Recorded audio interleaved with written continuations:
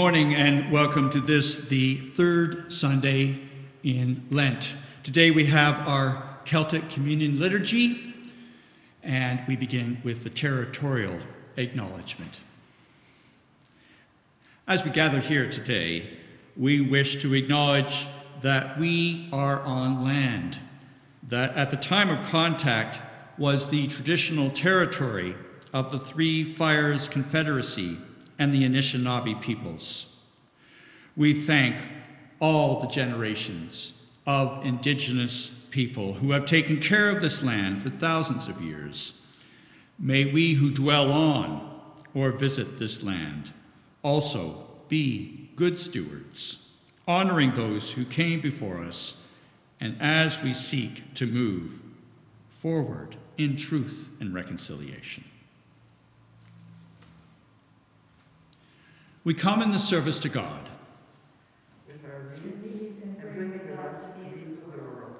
We come to God who has come to us in Jesus. And who walks with us the road of our world's suffering.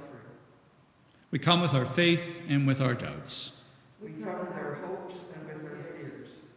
We come as we are because it is God who invites us to come. And God has promised never to turn us away.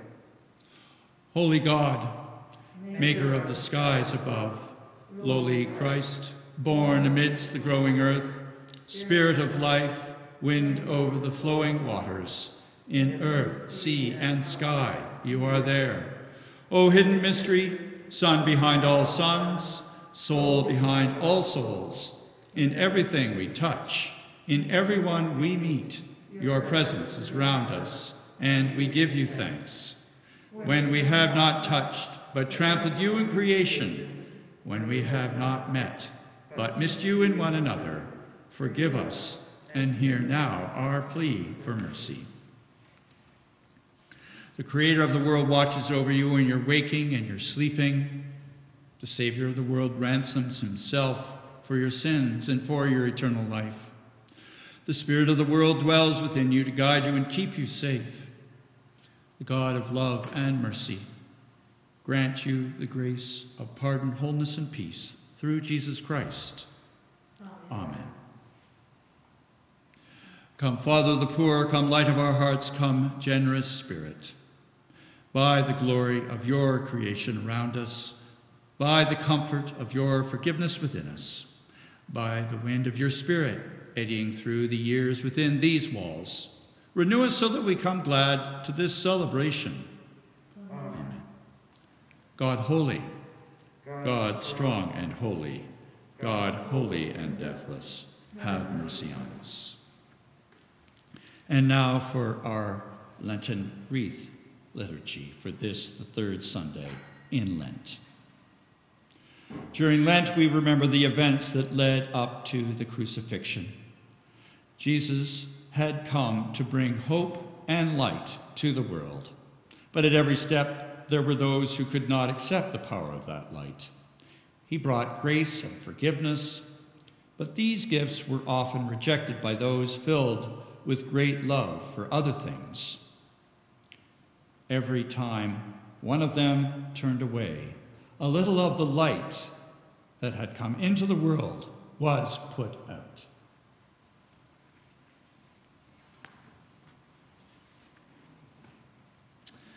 And now we have the Lion's Spark reading with Tracey. From the Spark Story Bible, the Ten Commandments.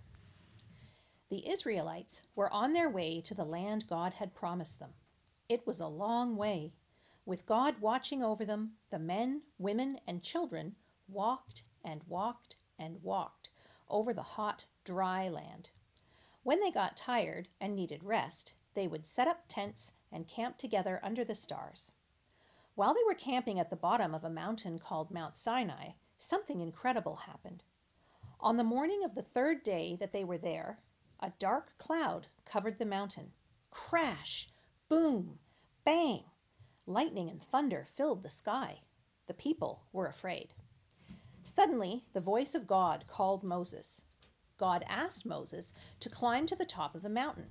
So Moses grabbed his walking stick and climbed up, up, up. When he got to the top of the mountain, God spoke. God said, Moses, listen up. I have important rules for you and the people to live by. You can turn to this list to know how to love God and each other. Do your best to follow this list. It won't be easy, but I am with you and I love you. Then God gave Moses a list of 10 special rules called the Commandments. They were I am God, the only God. Honor me above all things and people. There are no other gods for you, only me. My name is special. Don't use it with bad words or mean talk. Take a day of rest each week. Call it the Sabbath and make it a special day for God. Show your mom, dad, and others who take care of you love and respect. Don't hurt others with your words or actions. If you get married, you must be loyal to your husband or wife. Don't take things that aren't yours. Tell only the truth about your family, friends, and even those you do not know. Be happy with what you have. Don't wish for things that other people have. And with that, the dark cloud went away. Moses walked down, down, down the mountain. The people were still scared from the dark clouds and thunder. But Moses said, Don't be afraid. God has given us special rules to teach us how to live together in peace. Moses told the people about God's rules, and they did their best to follow them. The psalm this morning is Psalm 19.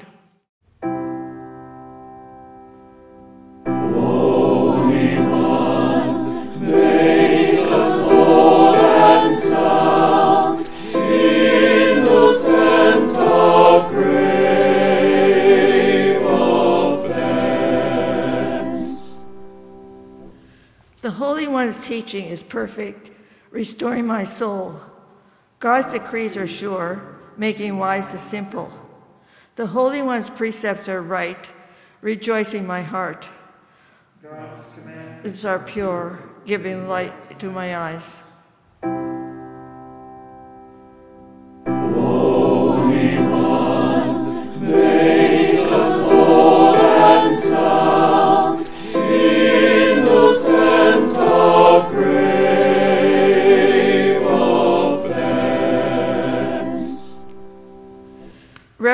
God is clean, enduring forever. The Holy One's judgments are true, altogether just. More to be desired are they than gold, more than much fine gold, sweeter far than honey in the comb. By them is your servant warned, for in keeping them there is great reward. Who can discern unwitting sins? Oh, cleanse me from my secret faults. Above all, keep your servants from arrogant sin. Let them not control me. Then shall I be whole and sound, and innocent of grave offense. May the words of my mouth and the meditation of my heart be always acceptable in your sight, O God, my strength and my Redeemer.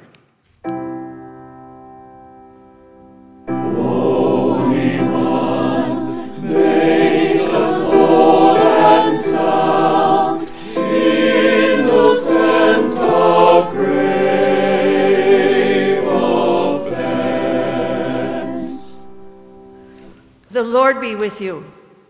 And also with you. The Holy Gospel of our Lord Jesus Christ according to John. Glory to you, Lord Jesus Christ. The Passover of the Jews was near, and Jesus went up to Jerusalem. In the temple, he found people selling cattle, sheep, and doves, and the money changers seated at their tables. Making a whip of cords, he drove all of them out of the temple, both the sheep and the cattle. He also poured out the coins of the money changers and overturned their tables. He told those who were selling the doves, Take these things out of here. Stop making my father's house a marketplace. His disciples remembered that it was written, Zeal for your house will consume me. The Jews then said to him, What sign can you show us for doing this? Jesus answered them, Destroy this temple, and in three days I will raise it up. The Jews then said, This temple has been under construction for 46 years. And will you raise it up in three days? But he was speaking of the temple of his body. After he was raised from the dead, his disciples remembered that he had said this, and they believed the scripture and the word that Jesus had spoken. The gospel of Christ. Praise to you,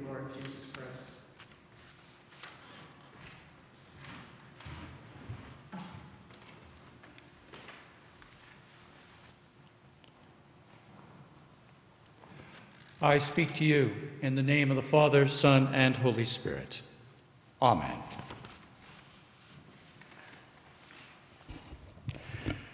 Today we read the passage that is traditionally known as the cleansing of the temple. Although this passage is found in all of the Gospels, including Mark's, which we are reading through this year, we turn to John's Gospel for today's reading as John fleshes the passage out where Mark is shorter and to the point. The cleansing of the temple seem to be the go to verses when we want to explain away outbursts, righteous anger, or as I read, Jesus flipping tables is not an excuse for your online rants. A Facebook post using this excuse, as I read, might say something like this Sorry if this comment about fill in the blank doesn't sound nice. Jesus wasn't exactly nice either when he kicked people out of the temple and threw around tables. We have to remember that Jesus' forceful actions end with him saying, Stop making my father's house a marketplace in Mark 2:16 and one chapter later, in John 3:16, we hear, "For God so loved the world." Jesus knew what he was doing. It was not a spur of the moment fit of rage from someone who loves us. He already knew what was going on in the temple. This was a teaching moment to make his point, which was that he would not just cleanse the temple, he would become the temple. It would change the way in which we see and love God and Jesus and the way we would see and love God's people. This required something that would get everyone's attention and make the point, and that he did. I have a few questions that I want to answer about this passage in this sermon. Let's begin with the title. Is the cleansing of the temple the right title. Cleansing, that is, to clean the temple, is probably not the right word. The answer to the question, would it remain clean after Jesus' actions, is no. The temple would carry on with the ritual sacrifices and changing people's money. The answer to what really happens lies later in the passage when Jesus says prophetically, Destroy this temple, and in three days I will raise it up. Jesus said this in order for his disciples to remember, as we read later in verse 22. After he was raised from the dead, his disciples remember that he had said this, and they believed the scripture and the word that Jesus had spoken.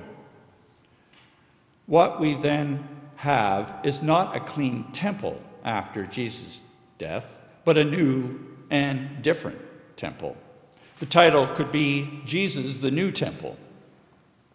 He wanted the disciples and us to remember this. If I were to ask you to name a healing or teaching, there would be a host of answers.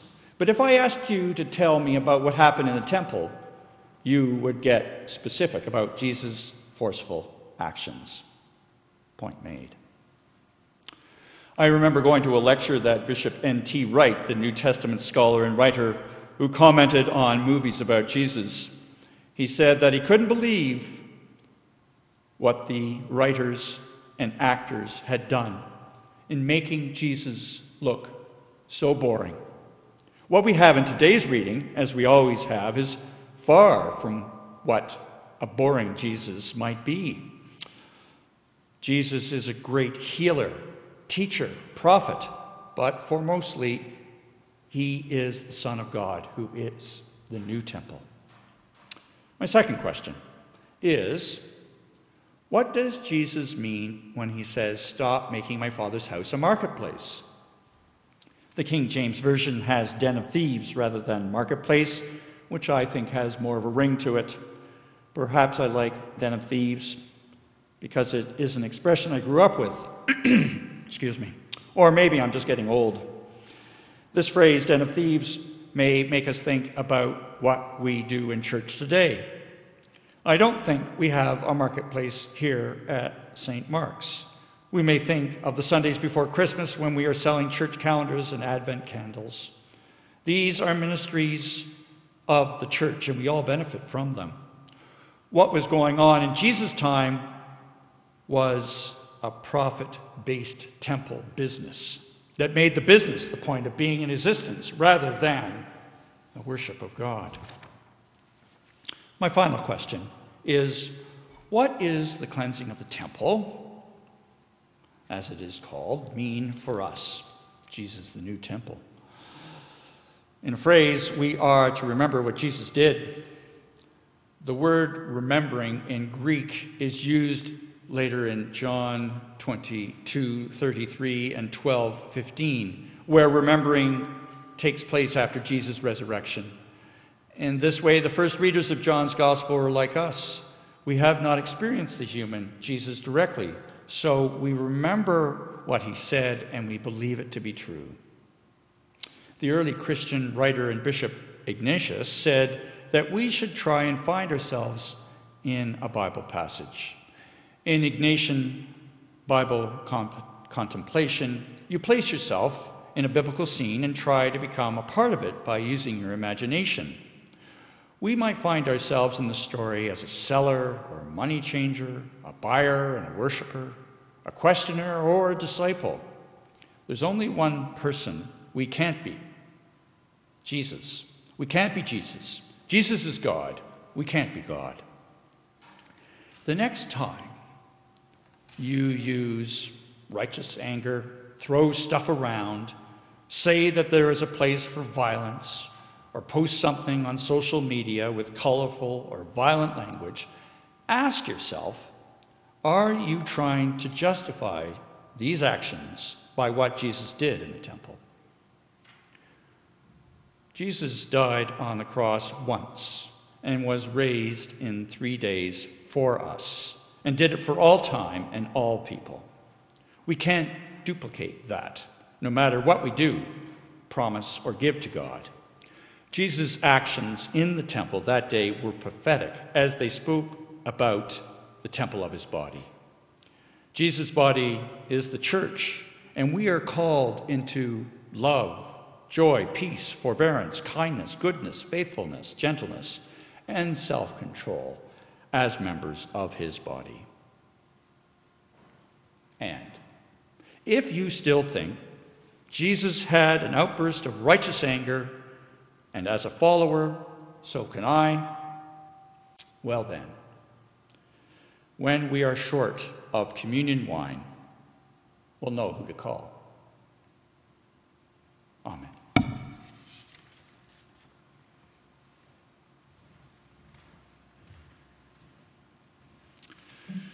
We continue in our service with affirmation of faith number one. We believe in God above us, maker and sustainer of all life, of sun and moon, of water and earth, of male and female. We believe in God beside us, Jesus Christ, the Word made flesh, born of a woman's womb, servant of the poor. He was tortured and nailed to a tree. A man of sorrows, he died forsaken. He descended into the earth to the place of death. On the third day, he rose from the tomb. He ascended into heaven to be everywhere present, and his kingdom will come on earth. We believe in God within us, the Holy Spirit of Pentecostal fire, life giving breath of the church, spirit of healing and forgiveness, source of resurrection and of life everlasting. Amen.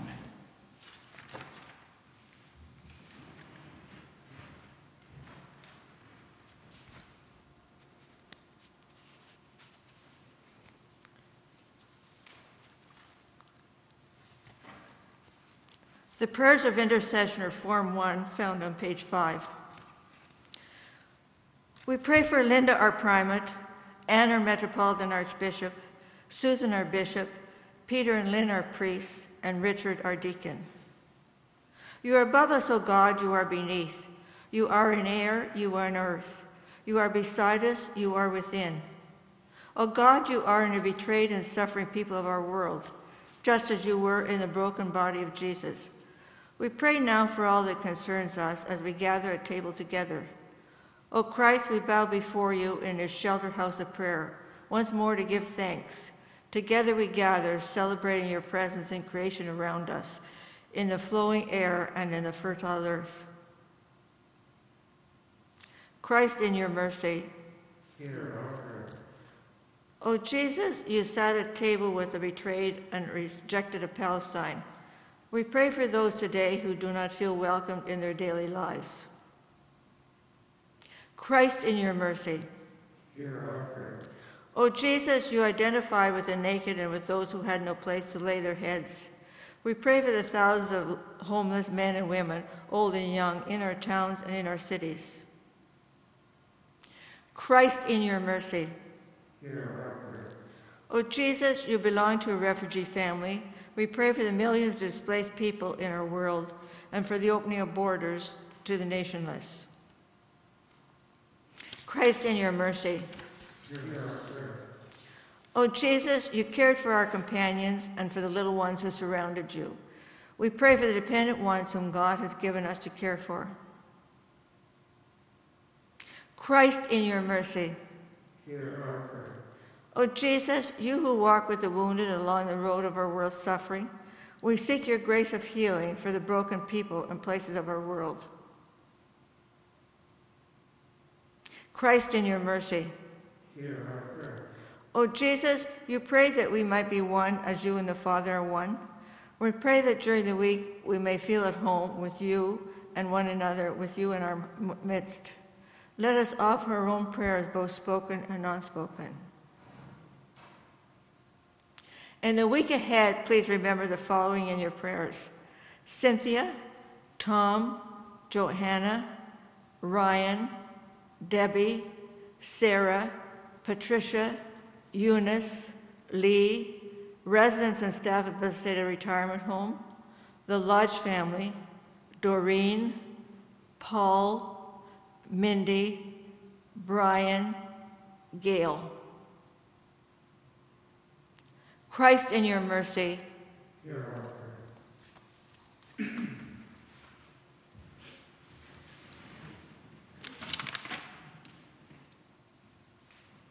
Teach us now, O Christ, to pray as brothers and sisters. Our Father in heaven, hallowed be your name. Your kingdom come, your will be done on earth as in heaven. Give us today our daily bread. Forgive us our sins as we forgive those who sin against us. Save us from the time of trial and deliver us from evil. For the kingdom, the power, and the glory are yours, now and forever. Amen.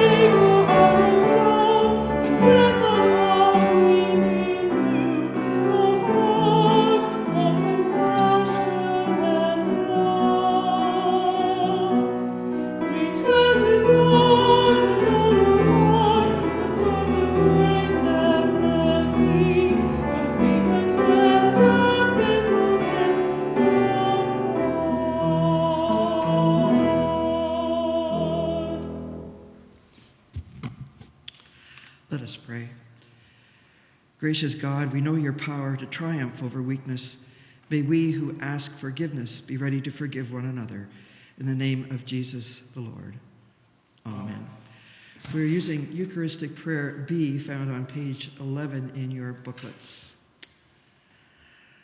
The Lord be with you. And also with you. Lift up your hearts. Let us give thanks to the Lord our God. It is indeed right, for you made us, and before us you made the world we inhabit, and before the world you made the eternal home in which, through Christ, we have a place. All that is spectacular and all that is plain have their origin in you. All that is lovely, all who are loving, point to you as their fulfillment. And grateful as we are for the world we know and the universe beyond our understanding, we particularly praise you, whom eternity cannot contain, for coming to earth and entering time in Jesus. For his life, which informs our living, for his compassion, which changes our hearts, for his clear speaking, which contradicts our harmless generalities, for his enduring presence, his innocent suffering, his fearless dying, his rising to life, breathing forgiveness. We praise you and worship him. Here, too, our gratitude rises for the promise of the Holy Spirit, who even yet, even now, confronts us with your claims and attracts us to your goodness. Therefore, we gladly join our voices to the song of the church on earth and in heaven. Holy, holy, holy Lord, God of power and might, heaven and earth are full of your glory. Hosanna in the highest. Blessed is he who comes in the name of the Lord. Hosanna in the highest. And now, lest we believe that our praise alone fulfills your purpose, we fall silent and remember him who came because words were not enough, setting our wisdom, our will, our words aside, emptying our hearts and bringing nothing in our hands. We yearn for the healing, the holding, the accepting, the forgiving, which Christ alone can offer.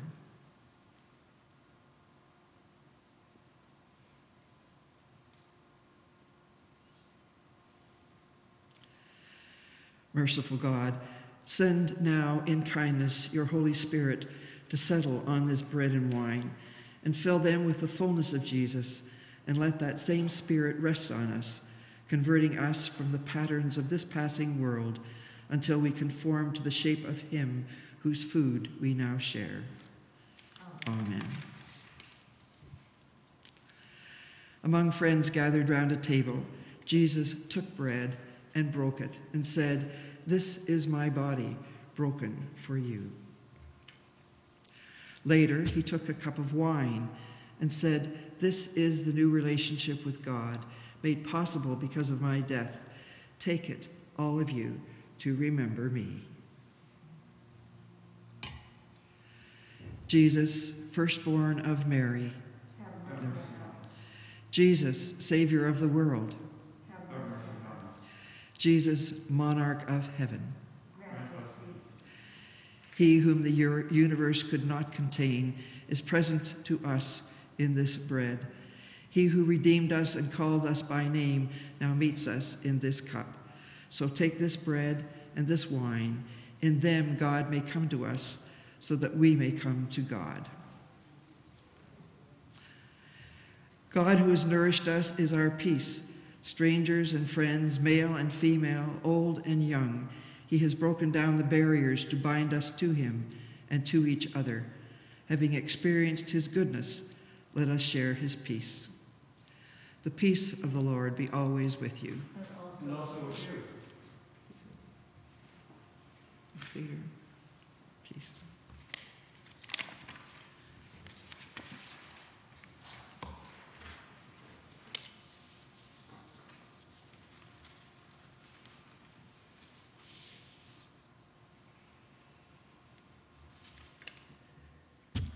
These are the gifts of God for the people of God. Thanks be to God. And now for those worshiping with us online and receiving spiritual communion. Dear friends, I invite this, you in this moment, wherever you may be, to receive Christ in communion with the saints and the gathering of God's people, unseen and yet present with us now. Many are made one. We receive you, Lord Jesus Christ. We welcome your presence in us and together proclaim our love for you. With our hearts, minds, our souls, and our strength, with the saints we worship you, with the angels we adore you. With your whole church we proclaim your reign. Come to us, though many, and make us one in you. Amen.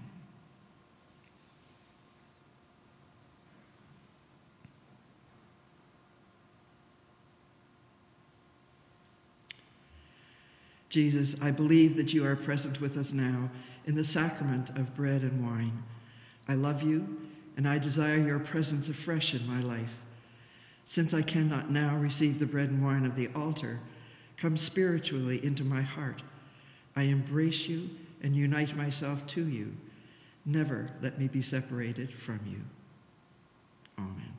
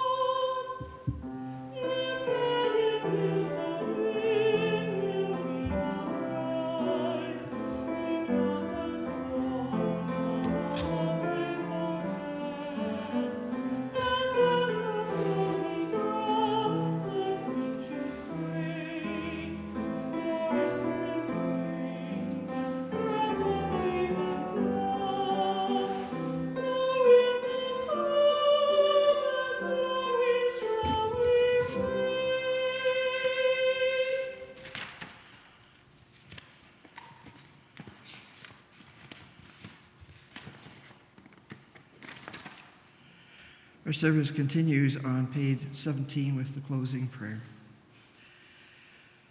O God our Father, who gave to your servant Columba the gifts of courage, faith, and cheerfulness, and sent people forth from the holy isle of Iona to carry the word of your gospel to every creature, grant, we pray, a like spirit to your church, even at this present time. Further, in all things, the purpose of this community of St. Mark's that hidden things may be revealed to us and new ways found to touch the hearts of all. May we preserve with each other sincere charity and peace, and if it be your will, grant that this holy place of your abiding be continued still to be a sanctuary and a light. Through Jesus Christ our Lord. Amen.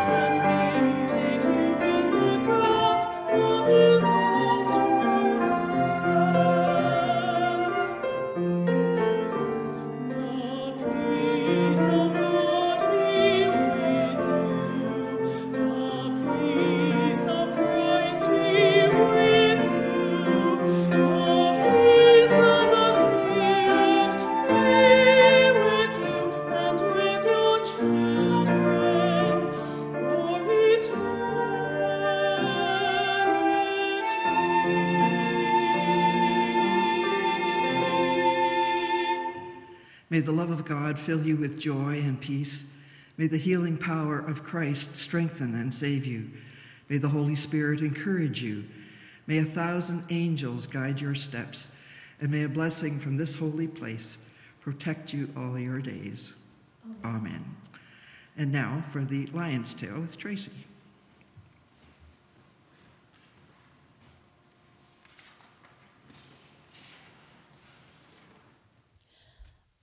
Today comes from the book of Exodus. It is the second book in the Old Testament and is thought to have been written by Moses. In the reading, Moses is a grown man and a leader of a group of people called the Israelites. The Israelites were people who were the descendants of Abraham, who you might remember from our reading last week. The Israelites are described in Exodus as God's chosen people. God had made promises to them that one day they would live in a land of their own, but they'd had a lot of troubles in the years before today's story begins. For generations, the Israelites had lived in Egypt as slaves. Under the ruler of the land, the Pharaoh, they had no rights and were treated very badly. They were forced to work hard and were often punished.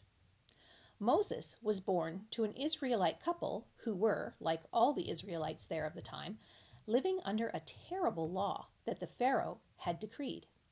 It said that all firstborn Israelite babies that were boys would not be allowed to live.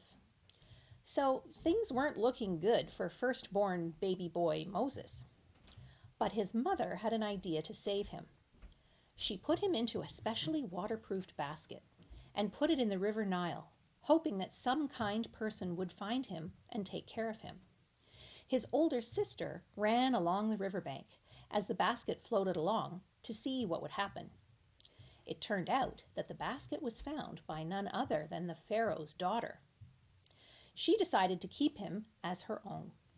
The neat part of the story is that Moses' sister actually approached Pharaoh's daughter and politely suggested a lady she knew who could look after baby Moses until he was old enough to live with his adopted mom. Can you guess who she suggested? Yep, their mom. So Moses got to live with his own family until he was old enough to be raised in the Pharaoh's palace and be educated, living a life of privilege. As a young man, lots of things happened in Moses' life. He grew up, got married, and became a shepherd. He always knew he was an Israelite, though. So when God spoke to him through a burning bush and told him he wanted Moses to go to Egypt and lead the Israelites out of slavery and get them to a land he had promised them, he agreed to do it. You might remember the story of the parting of the Red Sea that let Moses and his people escape the Egyptian army on their way to this land. Well, at the time of our reading, the Israelites were pretty fed up. Instead of seeing the wonderful things that God had done for them by helping them leave Egypt, keeping them fed and safe on their long trip to the land he promised them, they complained. They moaned about their bad luck and how it would have been better to have been slaves after all than be in the desert, traveling to their new home for such a long time. They weren't loving God in their hearts or their actions. They were only concerned about their own wants. Moses didn't know what to do with them. So God had another conversation with him, way up on the top of Mount Sinai. Moses was gone from the Israelite camp for quite a while. When he finally returned, he was carrying something special two tablets carved with the rules God wanted the Israelites to live by that we heard described in the Bible reading. We are asked to live by them to this day as Christians.